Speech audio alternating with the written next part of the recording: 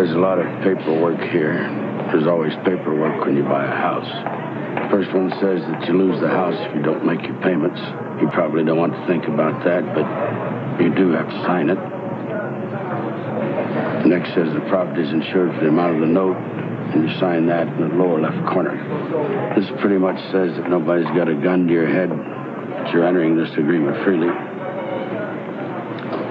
Next is the house is free of termites. Last one says the house will be your primary residence and that you won't be relying on rental income to make the payments. I hope you brought your checkbook. This is the fun part. I say that all the time, though most people don't think so.